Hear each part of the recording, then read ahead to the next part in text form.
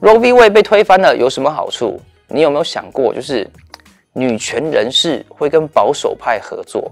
你有没有想过，支持堕胎的这些女人物化自己，以为自己在享受性爱，但是其实在摧残自己的人格跟自己的人性的人，会主动要求自己心灵升华，成为一个呃尊重自己身体的神的形象？很难想象，对不对？Roe v. 位被推翻之后，我们看到大部分的情况是这个样子的。这是在德州达拉斯的画面。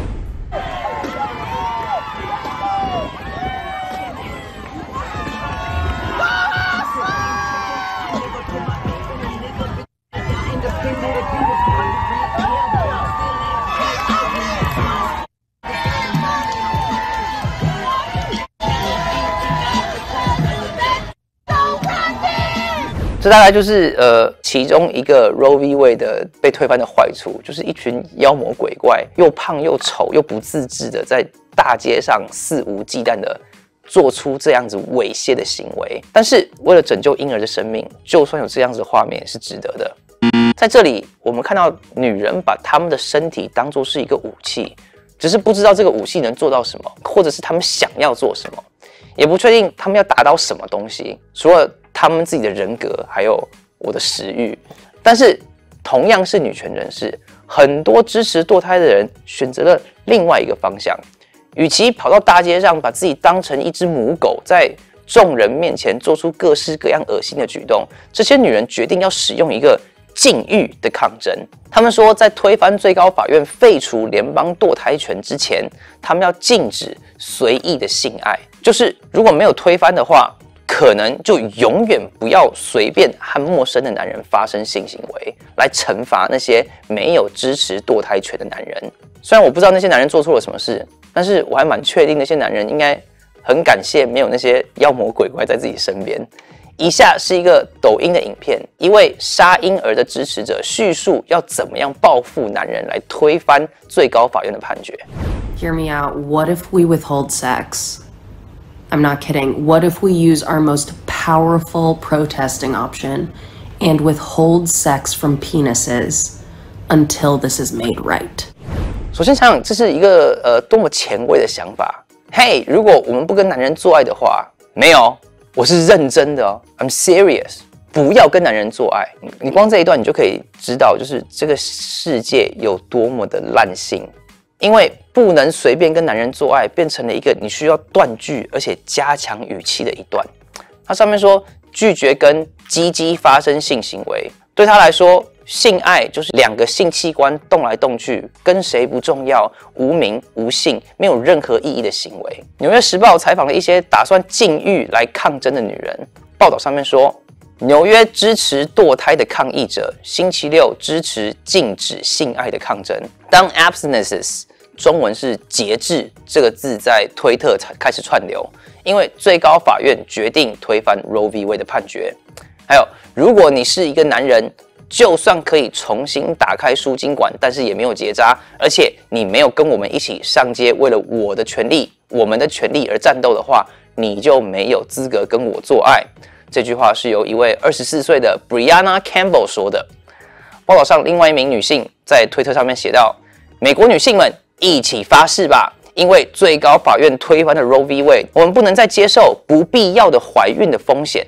这就是为什么我们拒绝跟任何男人做爱，包括自己的丈夫，除非我们试着要怀孕。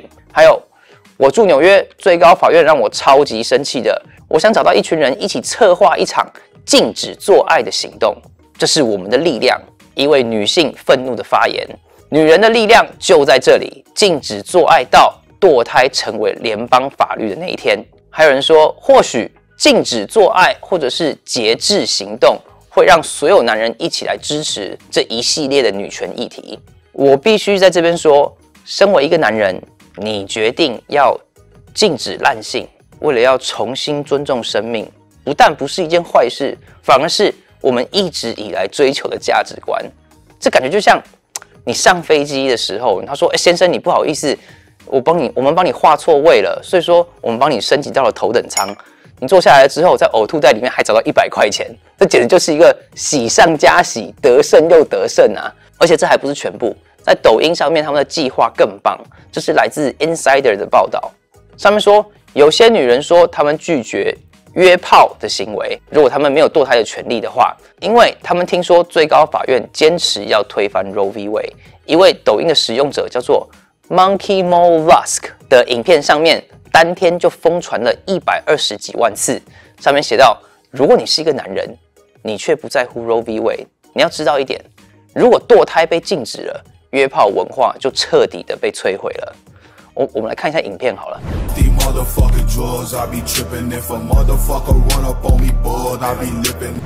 上面写着哪个女人会随便跟一个低于标准的醉汉做爱？如果他们可能会成为小孩的父亲的话，那个上面有成千上万的女人同意而且附议，说他们也有同样的想法，而且说他们不会再去碰那些又肮脏又恶心又不负责任的男人。还有人说我正在删除我手机上所有的约炮神器。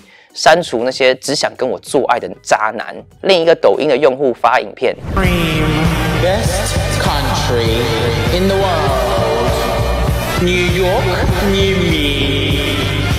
上面说七十五趴的男人只在乎性爱跟钱。我希望他们知道，Roe v. Wade 这个判决绝对会摧毁约炮文化，而且会让他们负责十八年的赡养费。男人们听好，这并不只是一个女人的议题。我们在这里可以看到整个美国社会对于堕胎议题的。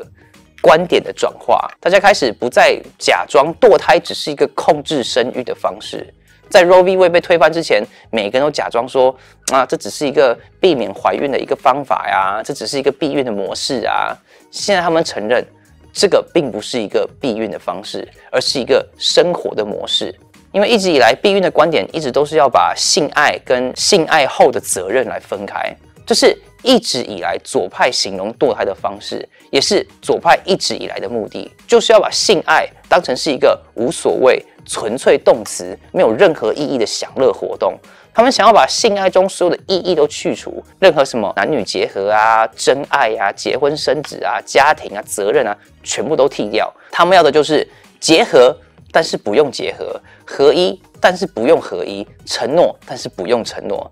最主要，他们是要把生命从性爱中挪去。问题就是，性爱的本质就是爱、婚姻、家庭、责任，还有生命。就算是被左派掌控的好莱坞拍的电影，那个 Natalie Portman 演的《No String Attached》，中文叫做《泛泛之交》，或是 Justin Timberlake 演的《Friend with Benefit》，中文叫做《好友万万岁》，都可以告诉我们，没有人可以做到无脑。无目的、无嫉妒心的性爱，而且当那些女的如果真的遇到那种纯粹只要性不要爱，纯粹只是性行为，然后呃无脑、无目的、没有嫉妒心的男人的时候，他们就会觉得他们遇到了渣男、烂男人，只会用下半身思考。女人会把自己当成受害者，甚至有的时候会把那样子的男人告到法庭上。因为当性爱变得没有意义的时候，只是纯粹身体上面的发泄，只会让人觉得更困惑。更难过、更孤单、更认为自己在受伤害、更认为自己被男人玩，这个就是我们今天认识的约炮文化。但是，就算这个约炮文化没办法带给任何人快乐，让更多的人孤单难过，不管怎么样，这个扭曲的文化还是有一个最后的防线，叫做堕胎。堕胎成了人可以拒绝面对自己的错误的决定，而且重来、重新、重生的一个机制。就算在这个机制里面，就是一堆孤单、难过、扭曲的一群人，但是他们这群人觉得自己很骄傲、很自由。他们以为人生就是这样子漫无目的，然后完全没有意义。因为虽然身为人，但是活的却跟动物一样。因为虽然身为人，但是活的却跟动物一样，甚至比动物还要差。因为动物还会生育，而且不会主动这么想要杀死自己的小孩。这个机制现在被破坏了，性爱开始有责任了，有生命了。很多支持杀小孩的这些人决定，我们就彻底的离开这个不用负责的性爱机制吧，这个约炮文化吧。这就是一个生命的转折，这就是一个正确的方向。就算他们离开的意念不是正确的，或许他们离开了约炮文化之后，就会发现。他们是有尊严的，他们不是一个性爱的机器，他们不是一堆只为了做爱而生存的动物。或许他们会发现，尊重自己的身体才会得到尊重。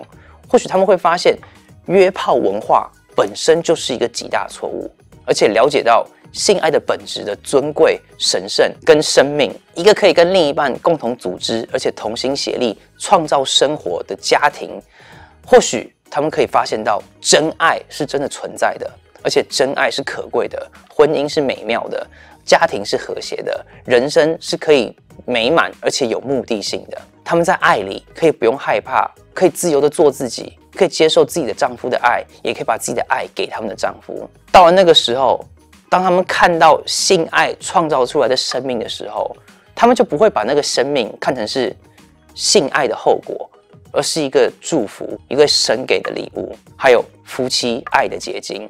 透过接受自己跟自己的另一半，还有接受生命的礼物，他们就会知道什么是真正的快乐。这一切都是在约炮文化里面找不到的。或许这就是推翻 Roe v. Wade 带给我们的第一个启示。感谢大家收看，我是 Ethan。更多美国情报，请持续关注 AI News。夏天是不是太无聊了呢？是不是想要找一些合家欢乐又有意义的活动一起做呢？告诉你一个好消息，Impact Harvest Church 邀请你跟你的家人朋友一起参加盛夏园游会，在七月十号上午十一点到下午四点。今年的主题是仲夏之梦，想要帮助更多的人可以找到他们的梦想。更重要的是，他们造物主创造他们时候的方向，让人活得可以更有意义、更有目标、更丰盛。Impact Harvest Church 欢迎所有 AI News 的观众惜家带眷来参加，有丰盛的食物、饮料，还有大人小孩都爱玩的各式各样的活动，包括现场乐团演奏，还有抽奖活动。我在这里真的是说不完，因为我当天也会在，因为那就是我教会，地址是一四零 West Lime Avenue Monrovia California 九一零一六，详细情形欢迎到 Impact 网站 www.loveimpact.net 来了解更多。